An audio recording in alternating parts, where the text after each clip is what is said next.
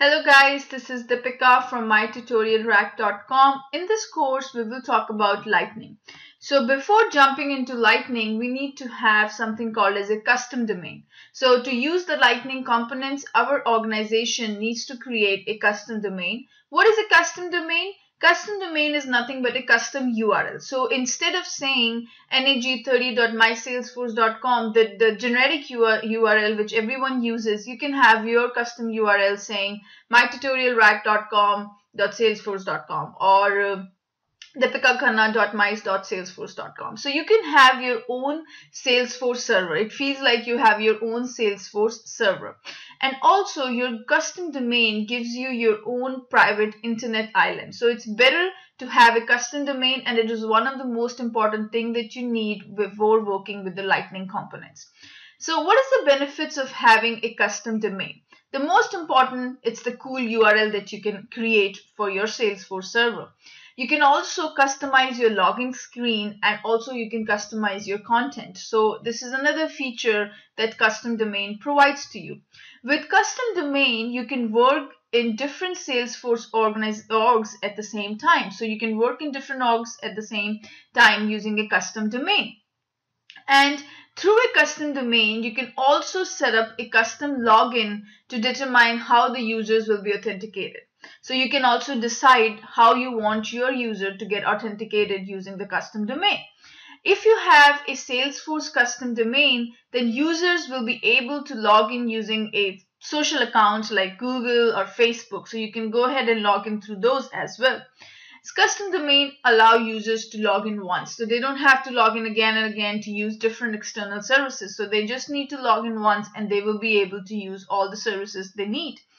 And a custom domain also improves the organization security. So now you know that a custom domain is useful because it you will be able to customize your content. You will be able to uh, customize how the users will be authenticated in your org. You will be able to use different different orgs at the same time. So now we will see how you're going to go ahead and enable your custom domain for your organization. So to do that, we will go back to our Salesforce click on the setup here and on the left hand side type in my domain. Once you do that if you go ahead and just type in my domain this is click on this link that is provided.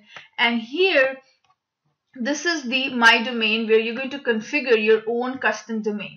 Let's say I have a website called my tutorial rack let's see if this is available it might not be available or it might be available. So since this is available, I'm going to go ahead and use this custom domain and I click on I agree to terms and conditions and register the domain. So now this is basically the process has been all okay. So this is the domain name is taken. We have to try another one. So let me say tutorial. So let me just go have the R here, tutorial rack. Let's see if it's available. Okay, it's available. And now I'm going to go ahead and hit the register button. Okay, so this is this is going to take a couple minutes. It takes about three minutes to go ahead and uh, registration and register this domain. So in the meantime, let's go through the rules of setting up the custom domain. So there are some naming conventions you need to follow when you're writing your when you're creating your subdomain. That there are three reserved words that you cannot use. One is www. You cannot use this as a subdomain. You cannot use Salesforce. You cannot use Heroku. These are the reserved words that you can't use for your subdomains. And also, while naming your subdomains, you should not start your domain name with these like root or status or a hyphen. So you should not use these while going through these while creating your custom domain.